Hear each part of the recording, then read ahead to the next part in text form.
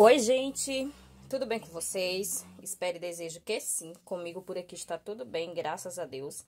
E eu vim trazer um vlog aí para vocês, a continua, continuação, né, do vídeo anterior, onde eu mostrei para vocês é, os fios barrocos que eu havia comprado pela Shopee para efetuar é, a confecção de uma encomenda feita através do meu canal de vlogs, né, o Polivlogs e Família.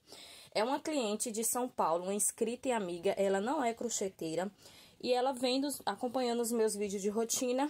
Ela gosta de crochê e ela comentou no meu vídeo que ela gosta de crochê, não sabe fazer, que ela comprava através da Elo7.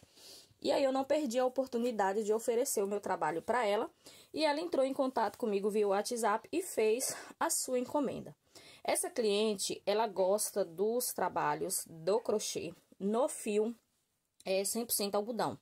Então, essa foi a pedido dela. Ela queria um kit suplá, um kit suplá tulipas, mas confeccionado todo no barroco. Como aqui na minha cidade os fios são muito caros, eu disse para minha cliente que eu teria que comprar pela Shopee e ela aguardou pacientemente, inclusive ela efetuou o pagamento. A princípio, no início da encomenda dela, eram cinco suplás tulipa, mas no decorrer da produção eu consegui convencê-la a levar o kit de seis suplá. De imediato, gente, a minha cliente, eu fiz o orçamento para ela. Fiquem comigo até o final que vocês vão entender como que é lindo o agir de Deus na vida da gente. Tudo na nossa vida, gente, só acontece com permissão do nosso Senhor. É, eu fiz, eu fui na Shopee, fiz o orçamento das linhas e eu fiz o orçamento para minha cliente é, de R$ reais cada suplá. Isso mesmo, gente. Esse foi o valor que eu passei para minha cliente. Aí muitos de vocês vão falar assim: "Nossa, Poli, muito muito barato. Um suplá tulipa todo no barroco. Tá barato demais". Gente, realmente nesse valor eu iria ter uma lucratividade um pouco menor. Iria porque durante a confecção é, Deus trabalhou poderosamente e vocês já vão me entender. Mas mesmo eu é, passando o valor, o orçamento para minha cliente de R$ reais cada suplá, eu ia ter uma lucratividade, mesmo comprando é, os fios pela Shopee. Eu até disse no vídeo anterior que a minha, porque no momento que eu gravei os vídeos, quando a compra chegou, não tinha acontecido tudo o que aconteceu durante a confecção das peças. É, no vídeo anterior, eu disse para vocês que é, a minha maior, a minha lucratividade estava toda empregada nos fios, tá? Por quê? Porque eu comprei, gente, eu comprei três cones é, de barbante barroco de 700 gramas na cor cru. Isso tudo com o pagamento que a minha cliente me fez, né? Eu consegui comprar três cones se eu não me engano, acho que eu inteirei um pouquinho, acho que eu cheguei a inteirar um pouquinho. Porque cada cone de, de 700 gramas, eu paguei pela Shopee R$ 44,90. Então, R$ reais, né? Só aí já foi é, 90, 135 do cru, né? Eu paguei R$39,90, eu acho que no vídeo anterior eu falei o, o, preço errado. Depois que eu fui olhar na lojinha lá, eu paguei R$39,90 no de 400 gramas. Então, já foi para 160. E também paguei R$ 39,90 é, no Rosinha. Então, foi para 200 reais. Isso mesmo, gente, foi o valor certinho. Eu não cheguei a inteirar. Por quê? Porque quando eu passei o orçamento para minha cliente, eu, eu tinha passado o orçamento de 5 suplar a R$ reais e mais o frete. O que que ela me fez? O primeiro Pix que ela me fez foi no valor de 200 reais. Ela falou, Polly, quando você finalizar o suplar, eu te envio o restante que está faltando, que seria mais ou menos o valor do frete. Então, o valor do suplar, ela já tinha me pago ali nos 200 reais, porque 5 suplar iria dar 196 reais, se eu não estou enganada. As meninas aí, fera na matemática, me corrigem, por favor. Então, ficou dela me enviar somente o frete, certo? Ok. Fui fazer as minhas contas é, no, no valor que eu paguei no barbante, mas até então eu não saberia quanto que eu iria gastar de material.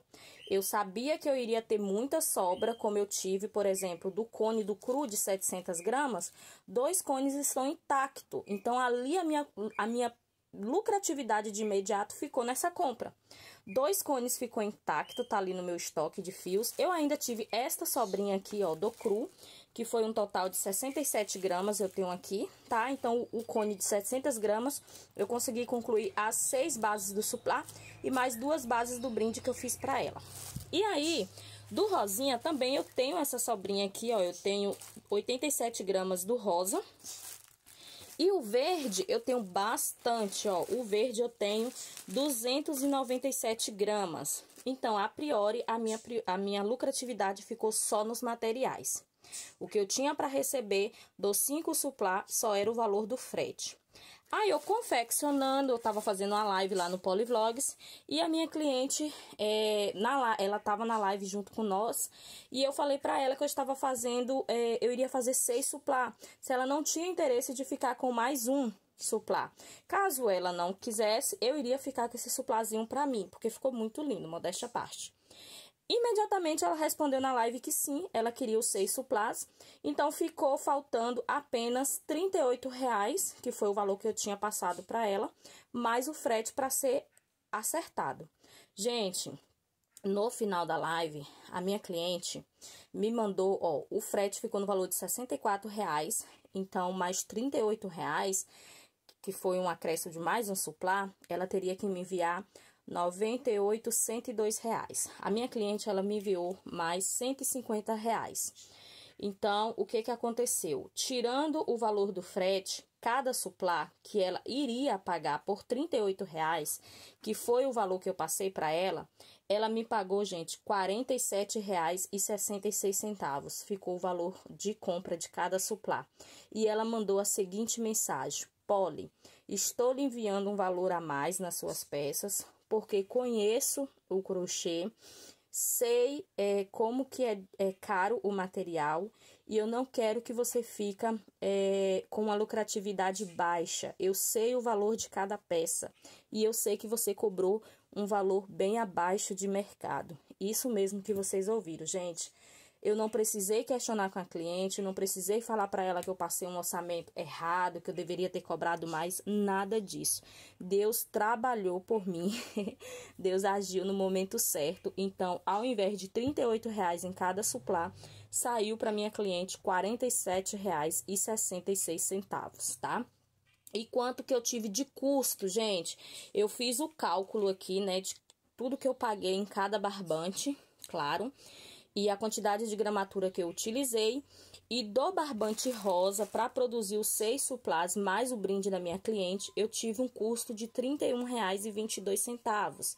No verde, eu tive um custo de R$ 10,27. E no cru, eu tive um custo de R$ 40,60. Então, eu tive um total de R$ 82,09 para produzir esse kit tá? Cada suplá saiu para mim no custo de R$ 13,68. R$ 13,68 saiu o custo de cada suplá e o valor de venda saiu por 47,66. Então, para mim, eu tive uma lucratividade maravilhosa. E se a minha cliente tivesse pago só os 38 reais, eu também teria tido uma lucratividade muito boa. Claro que nesse valor aqui de 82,09, eu arredondo para 90 reais, porque eu vou ter custo de embalagem, eu comprei uma caixinha para mandar o suplá todo bonitinho, então tudo isso tem que ser somado. Então, ao invés de R$ reais, eu arredondei para R$ reais de custo para produzir aqui os meus suplás, tá? R$ reais e ela me pagou R$ 47,66 vezes 6, deixa eu calcular aqui já volto, tá? Pronto, meus amores, fiz um cálculo aqui correndo, gente. É, os meus seis suplares, suplar ficou no valor de R$ 285,96 o valor de venda, tá? Do kit. E tirando os 90 reais de custo, eu tive uma lucratividade nessa produção de R$ 195,96. Então, mesmo trabalhando com barroco, mesmo é, produzindo, eu lucrei bastante. E se a minha cliente tivesse pago somente os 38 reais que eu havia acertado para ela. Deixa eu mostrar para vocês quanto que eu iria lucrar. Pronto, gente. Se a minha cliente tivesse pago somente os R$ reais, a compra dela iria dar um total de 228.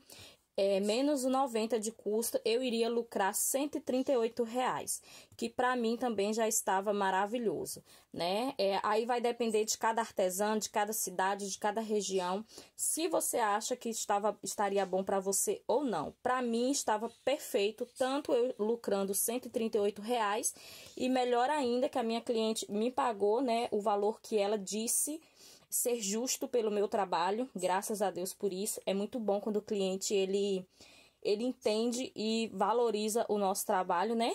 E aí eu consegui lucrar de 138, o meu lucro foi para R$ 195,96. Deu para vocês entenderem, meus amores? Então agora vamos para o que interessa, que é o meu suplazinho, vou mostrar para vocês como que ficou lindo e maravilhoso e o que a minha cliente vai estar tá levando de brinde, tá? Logo depois eu vou me despedir de vocês e vou deixar passando aí o vídeo de como que eu embalei para estar tá enviando para os correios. Olha, meninas, que coisa mais linda que ficou esse suplá. Tão delicado, gente, tão gostoso. É a primeira encomenda, a primeira peça que eu faço, assim, na realidade, com o fio 100% algodão. Eu tô simplesmente apaixonada pelo resultado que ficou. Eu tenho o passo a passo desse suplá tulipa, tá? Não é criação minha, claro, óbvio. Aí na plataforma você vai encontrar inúmeras videoaulas. Mas eu gravei, inclusive eu gravei com uma cor bem parecida com essa, porém, é no, no fio 85% algodão. Pera aí, Miguelzinho. Como é que você amanheceu? Da benção amanhã. Te abençoe. Pera aí, gente, que Miguel acabou de acordar. Já volto. Voltei, gente. Além de crocheteira, né? Sou mãe. então, meninas, é, eu tenho a videoaula, tá? Desse suplá. Eu vou deixar o link aí pra vocês. E já tô providenciando o passo a passo do porta-copos para vocês, certo? Então, bora lá, gente. A minha cliente, o suplá dela era para ter ficado com a medida de 36 centímetros, que foi o que foi concordado com ela. Porém, ele ficou com 37 centímetros e eu creio que ela não vai se importar com o tamanho que ficou, não, tá? Fiz aqui o acabamento, ó, todo legal. É, coloquei aqui um pinguinho de cola de silicone, ó, onde eu fiz os nozinhos de acabamento, só pra, né nos garantir aí, mas ficou muito lindo, gente. Eu tô apaixonada por essa produção. Deixa eu pesar uma aqui para vocês verem quanto que ficou pesando cada. Esse fio barroco é no número 6, tá? Ficou pesando, ó, 176 gramas cada suplazinho. Então, aqui eu tenho um total de 6 suplás prontinhos. E o que eu fiz de brinde para minha cliente foi dois porta-copos, ó. E aí eu vou gravar o passo a passo para vocês. Eu ainda tenho uma sobrinha ali que daria para fazer mais, então eu vou gravar a videoaula com a sobrinha que teve, né, dele.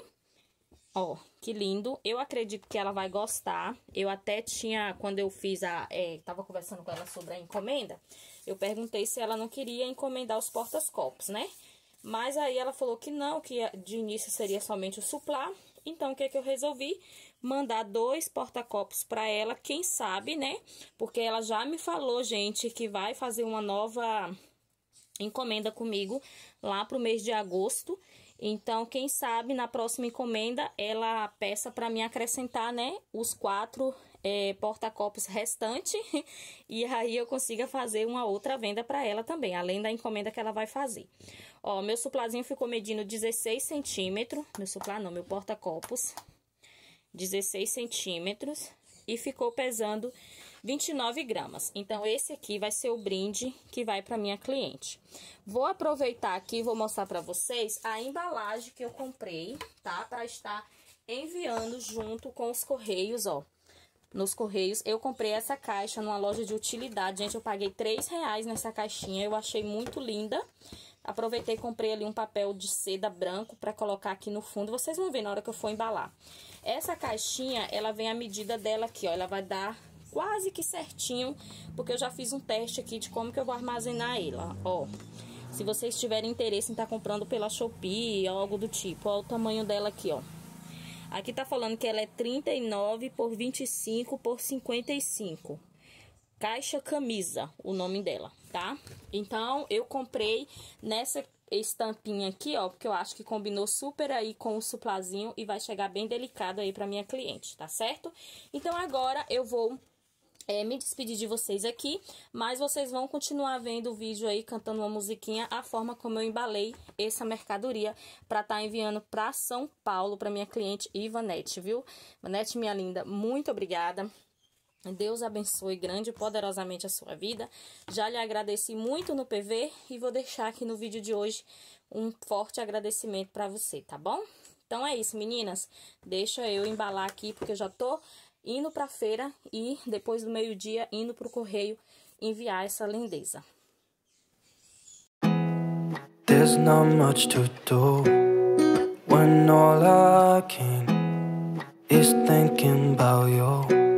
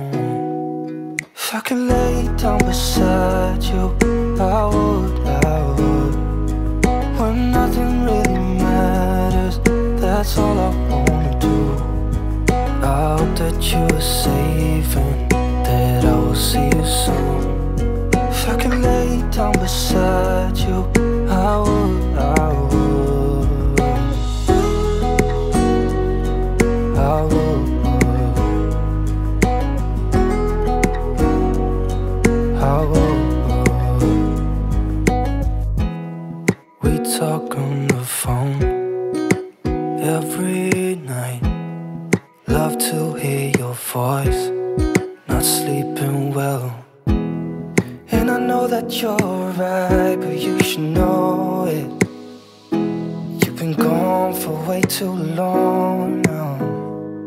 If I could lay down beside you, I would, I would. When nothing really matters that's all I wanna do I hope that you are safe and that I will see you soon If I can lay down beside you, I would, I would Even if you're gone, I won't forget all I know, what I need, and that ain't changing Even if you're gone, I will remember. You're all I know, what I need, and that ain't changing. If I could lay down beside you I would, I would When nothing really matters That's all I wanna do that you safe and that I will see you soon. If I could lay